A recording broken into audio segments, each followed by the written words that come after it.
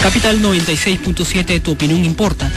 En este momento nos encontramos enlazados desde Curitiba, Brasil, con el doctor Anthony Choi. Muy buenas noches, doctor Anthony.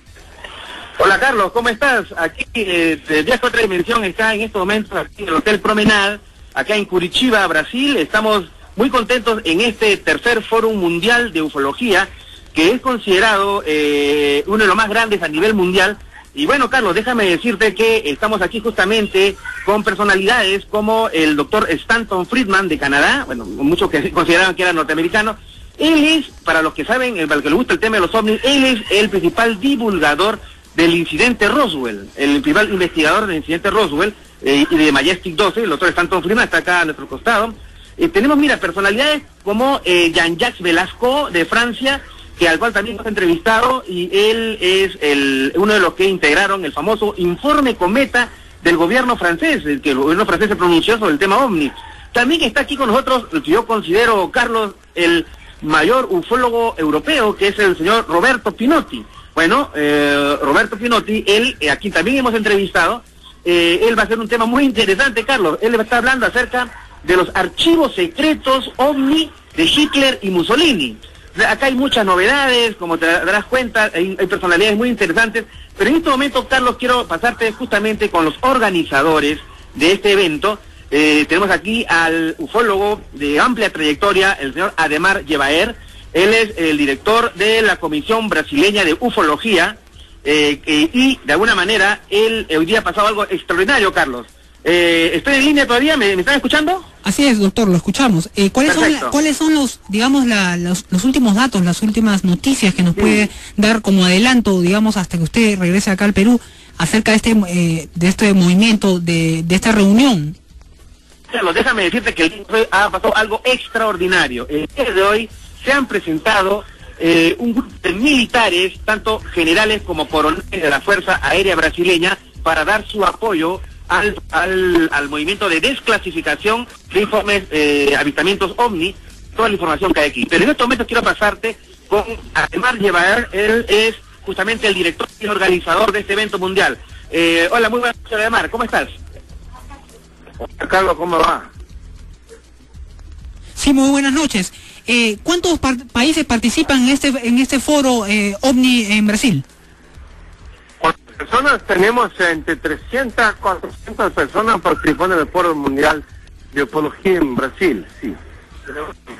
Y digamos, ¿cuál es, cuál es la mecánica de estas reuniones? Eh, ya que debido a que los gobiernos todavía no tienen una apertura para desclasificar estos, estos de archivos donde eh, hay, habría alguna evidencia, pues, ¿no?, de visita ovni. Bueno, el gobierno brasileño está gradativamente, pero muy, muy fuertemente abriendo sus archivos, como están otros gobiernos, eh, otros gobiernos de Sudamérica. Tenemos hoy varios gobiernos abriendo sus archivos que reconocen que estamos siendo visitados por otras especies de, de fuera del planeta Tierra. Y en Brasil, lo que pasa es que hay una cantidad de documentación que fue eh, erigida, que fue construida durante los, los tiempos de la dictadura militar, que están siendo hoy abiertas a la población, como los casos de la operación Pato en Amazonia y unos otros en otras partes de Brasil. Eh, así es. Eh, aparte de esto, ¿qué, ¿qué, más nos podría informar? ¿Cuál, digamos, ¿Cuáles son los pasos a tomar después de esta reunión? Eh, ¿Van a eh, reunir información? ¿Va a haber algún informe eh, conjunto de, todos los, miembros de esta, de, esta organización? La idea es que ah, desde Brasil ah, y nosotros vamos a hacer una, una unión de esfuerzos en Sudamérica para que trabajamos juntos para obtener la declasificación global de documentaciones oficiales. Hoy tenemos acá ufólogos de muchas partes del mundo. Tenemos acá gente de Argentina, gente de, de Perú, gente de Inglaterra, de Italia, de Francia, de Estados Unidos y de Canadá. Todos que hacen una, con mucha fuerza una denuncia. Estamos siendo hoy observados por otras especies cósmicas. Ok, eh, eh, okay mucha... Anthony Choi quiere hablar con ustedes. Ok, muchas gracias por, por ese reporte. Eh, doctor Choi. Muchas gracias a usted, Carlos. Ok. Adiós.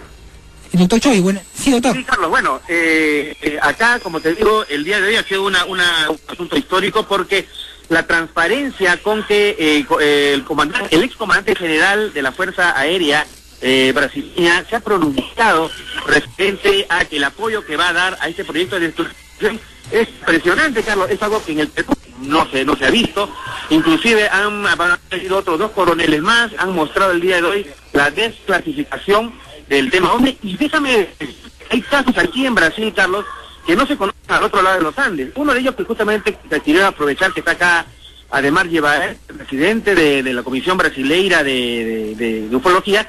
Eh, Ademar, quisiera que nos cuente acerca de este caso, que es muy interesante, el caso Varguiña, que es una especie de eh, caso Roswell brasileño, que un ovni cayó en, eh, en un pueblo, en un día, sábado por la noche, todo el pueblo lo vio, fue una cosa increíble. Eh, Ademar, ¿cómo fue este caso Varguiña, eh, por favor?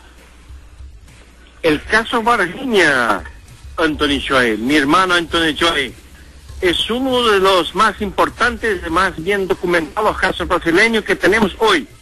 Porque es de, un- de una ocurrencia en que un, un ovni descenso a, la parte central de Brasil se estrelló en la ciudad de Virginia en 15 de enero de 1996. Eh, los tripulantes de este ovni por alguna razón no murieran, pero fueran capturados en la mañana siguiente por oficiales del, ejército brasileño y el, la brigada del fuego brasileño y, y este caso se, se transformó en una, una conmoción nacional porque eh, hoy sabemos que por lo menos dos criaturas, o es posible que más do que dos, fueron capturadas por las autoridades brasileñas y que fueron las criaturas llevadas para hacer un examen de autopsias en una de las más, más grandes universidades brasileñas por uno de los más expertos legistas brasileños, el doctor Fortunato Badán Palhares, y determinó que las criaturas tenían una constitución, una característica que no era similar a la raza humana. ¿Cómo se el corte? Yo pienso a Antonio Choi. Eh, Carlos, creo que hacer el corte. Ok, sí, ¿Te eh, doctor Choi, una, una pregunta. Eh, las, Sí. la- las criaturas que fueron capturadas, fueron capturadas ya eh, sin vida, ¿no?